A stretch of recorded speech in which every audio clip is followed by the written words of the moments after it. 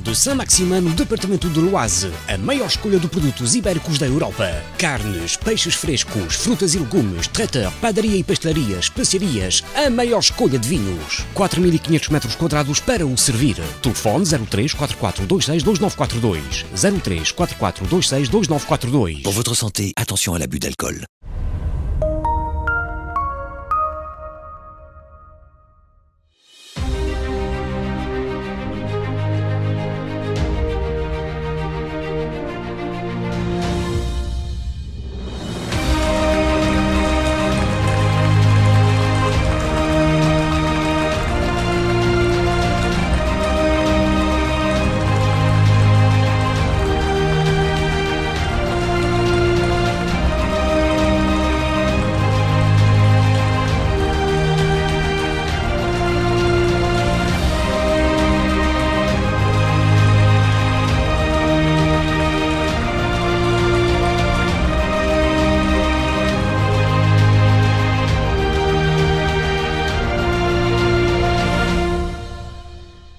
José Manuel Ferreira Fernandes, eh, ano de nascimento 1967, portanto tem 49 anos, eh, e o local de nascimento é Moura de Vila Verde, distrito de Braga. Eu sou um defensor do mundo aberto, do mundo livre eh, e, e sem fronteiras.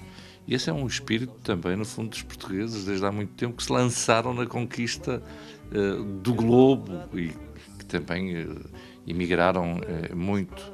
Eu estive efetivamente eh, a presidente da Câmara Municipal de Vila Verde, agora estou aqui a deputado no Parlamento Europeu eh, e tudo tem eh, sido um acumular de, de experiências que eu procuro pôr ao serviço eh, não só da minha região e do meu país, mas depois também, obviamente, da União Europeia, que é um projeto eh, em que eu eh, acredito e que acho fundamental eh, para também, no fundo, defendermos a nossa diversidade. Eu acho que só podemos vencer os desafios que temos pela frente atuando em conjunto, partilhando mais, havendo mais solidariedade, havendo uma outra coordenação. Onde estou, dou o máximo. Eh, Quando estive a presidente da Câmara Municipal, eh, fiz um trabalho eh, que me deu um prazer enorme. Eh, Agora, é um trabalho que fica limitado aos 50 mil habitantes do Conselho eh, de Vila Verde. Eu aqui, quando cheguei aqui no primeiro mandato, estou no segundo, eh, perguntei-me logo o que é que vais fazer agora. Eh, e deu-me um prazer enorme, por exemplo, ter proposto aquilo que hoje é um programa, na altura foi um projeto piloto, o teu primeiro emprego euros, para jovens até aos 35 anos, e percebi depressa que demorava mais tempo a decisão, mas depois atingíamos um universo de 500 milhões de cidadãos. Eu fui o negociador do eh, orçamento eh, para 2016. Eh, um orçamento em que em autorizações são 155 mil milhões de euros. E tive essa negociação toda com o Conselho, em que a última reunião demorou 15 horas, e portanto éramos uma delegação de 28 est- de- deputados do Parlamento Europeu que eu chefiava, do outro lado os 28 eh, Estados-membros, e essa- nessa reunião final conseguimos chegar a acordo e aumentámos as verbas para a juventude, aumentámos as verbas para as pequenas e médias empresas, eh, preocupamos e reforçamos tudo aquilo que tem a ver com o empreendedorismo. Eh, aliás, mais uma vez, um prazer, aquilo que eu. eh, um, gozo especial que me deu, um prazer enorme, eu ter assumido em campanha, queria defender os três Es: emprego, empresas e empreendedorismo, e assumi isso no, meu território, assumi isso até no Distrito de Braga, e depois aqui colocar como prioridade para toda a União Europeia esses três Es: emprego, empresas e empreendedorismo. E a Comissão Europeia colocar isso eh, nos seus documentos e, efetivamente, termos influenciado os programas eh, para esse eh, objetivo. Sou coordenador do Partido Popular Europeu, que é o maior grupo político na Comissão dos Orçamentos. Portanto, sou o porta-voz do Partido Popular Europeu eh, para as questões orçamentais. E as questões orçamentais são fundamentais para eh, Portugal. Eh, E temos tido aqui uma intervenção, muitas vezes não visível, não só em ajudar, mas também muitas outras vezes em que Portugal não seja prejudicado, como foi o caso das sanções, onde eh, tive uma, uma participação forte para evitar que Portugal fosse eh, sancionado. E é evidente que esta eh, ação é importantíssimo. Portugal tem feito esforços enormes e os portugueses estão em muitos sítios deste planeta com grande sucesso e nem sempre em Portugal têm o sucesso que às vezes têm fora e temos, felizmente, portugueses de muito sucesso espalhados pelos quatro cantos do mundo. Eu dedico muito tempo ao meu território, como eu, estava como eu dizia, aos distritos de Braga e Viana e também de Vila Real uh, e de Bragança. Aliás, eu tenho, por exemplo, um livro todos os anos que eu uh, ofereço, sobretudo às instituições, um livro para os distritos de Braga e Viana, o Minho, outro para os distritos de Vila Real e Bragança, traz os montes, é onde tem informação sobre os territórios, onde no fundo faço uma homenagem às forças do, do território.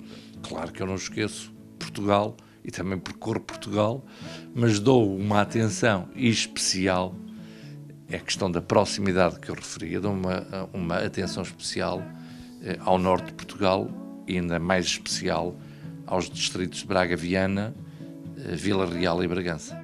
Nós quando estamos fora somos uh, sentimos mais o país e também o valorizamos mais, porque às vezes nem nem sempre valorizamos aquilo que temos. Até é um problema da União Europeia. Nós em Portugal também não valorizamos o nosso sol, a nossa gastronomia, a simplicidade uh, dos portugueses.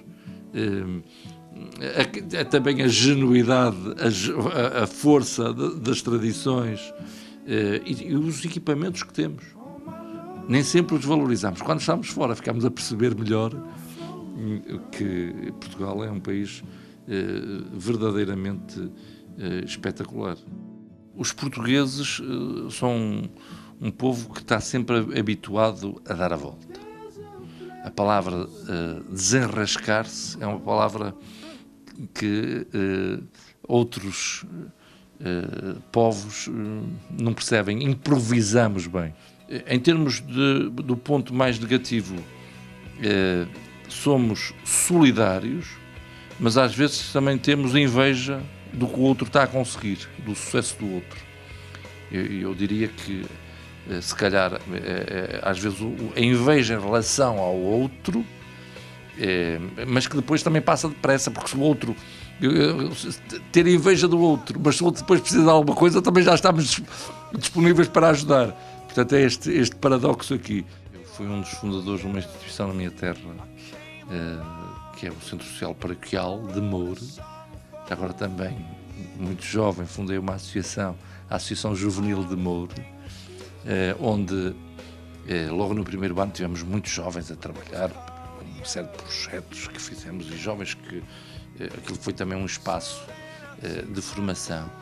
Eh, a questão da solidariedade é uma questão essencial. Olha, eu escrevi, tenho escrito vários livros para informar sobre as oportunidades dos fundos. O último, onde tenho vários coautores, experts nacionais que colaboraram comigo, é precisamente sobre a economia social em Portugal.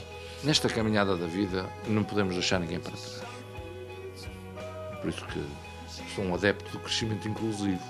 Crescimento inteligente, crescimento sustentável, mas também é, o, o, crescimento inclusivo. É, não podemos é pensar que eh, o, social, social, social sem a parte também é, económica, mas as questões sociais são essenciais e uma cultura também para esse objetivo. Não desistam. Continuem a dar o vosso melhor. Deem também o vosso melhor em Portugal, porque às vezes os portugueses são melhores quando estão fora de Portugal, que é uma coisa incrível. valorizem o, o, país que nós temos e os imigrantes valorizam. Eu acho que os imigrantes valorizam mais o país do que propriamente eh, os portugueses eh, que estão eh, em Portugal.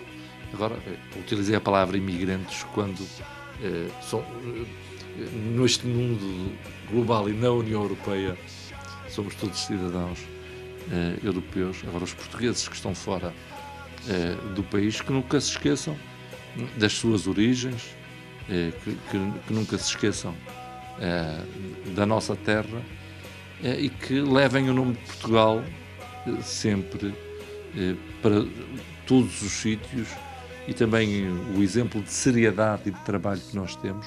O português não deixa de amar o seu país e isso é importante que não se perca, mas também que, não se, que, que se mantenha nas gerações seguintes.